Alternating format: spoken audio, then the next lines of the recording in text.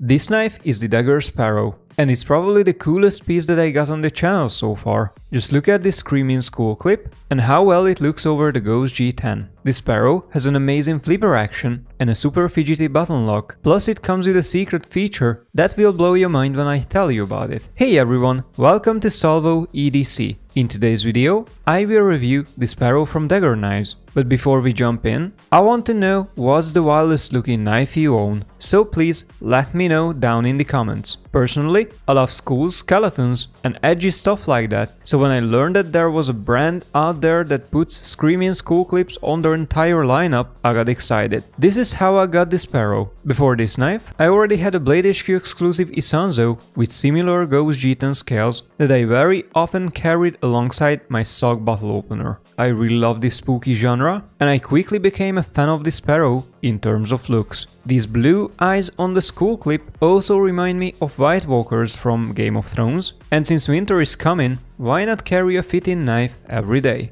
Besides fashion, this pocket clip also works amazingly as this dagger skull clip ends with a flat surface, so this clip doesn't poke at all, plus it has a creative twist on it. The only thing I was worried about was these decorative screws, as their heads are not recessed, but fortunately they work just fine. Another huge pro for this clip is that its base sinks into the G10 and its retention is pretty strong. But as a lanyard fanboy, drawing the knife was never a problem anyway. I was much more afraid to lose it. The Daggerr Sparrow also doubles down on the fun, since it comes with a super fidget-friendly flipper action with this forward-facing flipper tab, which makes the knife virtually impossible to misfire. I already flicked this knife open at least a thousand times, but it still puts a dirty little smirk on my face every time this blade deploys with the speed of a rocket. You can also see that I use this tab quite a lot as I completely removed the coating from the metal. Closing the Sparrow is also super smooth as the blade can effortlessly glide back and forth. Maybe the closest thing I would compare to this level of smoothness is the Spyderco Smock. That knife also opens with a similarly understated flipper tab and just like the Daggerr Sparrow, it also has a button lock. However, their button locks work way differently, as the Smock has a button-actuated compression lock, meanwhile the Sparrow has a button-actuated liner lock, which is an exciting solution for both knives. Simply put, Spyderco's compression lock is significantly stronger and more reliable compared to the Sparrow's liner lock. If we look at physics, the Smock clearly has a stronger mechanism and it would take a much larger amount of brute force to crush it. However, if we look at the full picture, this comparison is pretty much pointless, as the biggest problem with button lock knives is not their durability. The reason why I don't like or recommend button locks in general is the reason that they can be easily disengaged if you do not pay constant attention while you use them. In these two clips, you can see the Sparrow's lock disengage simply by me gripping the scales, which is a big problem, as this is the position where I would normally grip a knife to carve wood or cut rope. And in my opinion, this fatal flaw makes all button locks equally weak and reliable. Due to this reason, I handle every single button lock knife that I have as they were slip joints or detent locks, and I label them completely useless for heavy use or self-defense. I had to tell this because this locking mechanism means such a handicap that it makes a comparison between button locks and conventional locking knives completely pointless. But after we accept this limiting nature of the button lock mechanism, we can move forward and talk about how the Daggerr Sparrow is an amazing pocket knife nonetheless, and I prefer it over the Spyderco Smock as I find this design a lot more elegant. The Sparrow comes with nested liners, a deep carry clip,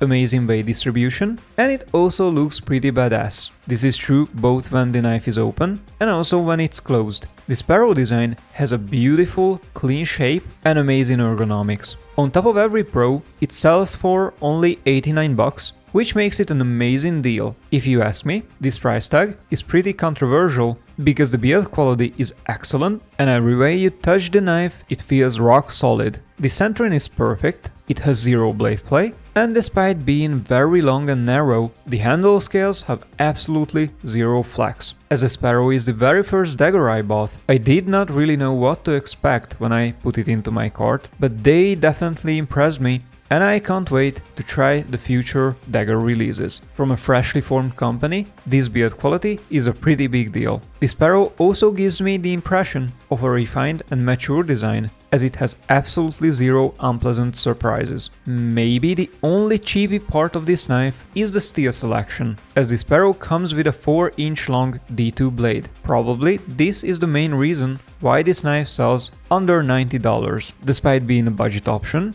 D2 is not a bad steel by the way, and I think it was an acceptable pick from Daggerr because this pretty thin spear point blade benefits greatly from its toughness. I mostly cut cardboard with this knife and I did not have a problem with the edge retention. However, I found sharpening pretty tough with this one so I had to use my guided system with diamond stones to give it a new edge. And now that we are already at the cutting edge, I'll bring up a very interesting feature of the Sparrow. If you look at the knife carefully, you might realize that this spearpoint blade is strangely tilted upward, which is an uncommon and very specific design element, typical mainly among food prep knives. In my opinion, this is a pretty cool feature and I highly appreciate that the Sparrow was designed this way. Not only because I love eating, but also because most of my other folders suck at prepping food. Generally speaking, I think it's hard to find effective food prep folders nowadays, and I'm extra happy to finally own one.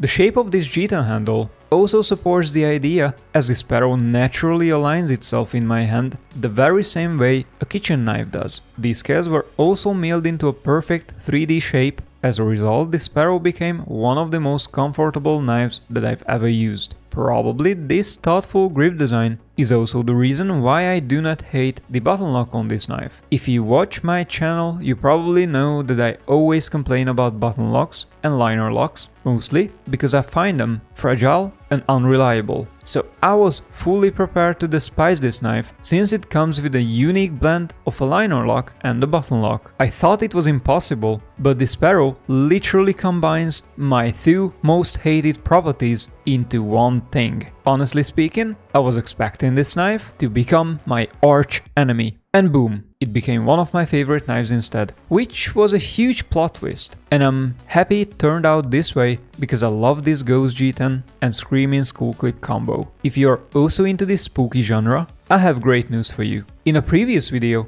I already introduced this very similar looking Blade HQ exclusive MKM Isonzo and if you wanna know more about this pretty badass folder with this wicked looking hawkbill blade, come and watch my review about it. Also consider subscribing because I have other cool knives coming soon, such as this Artisan Cutlery Archeo, which is another super fidget friendly knife with a gorgeous looking Damascus steel. Thank you for watching my video all the way and I'll see you in the next one.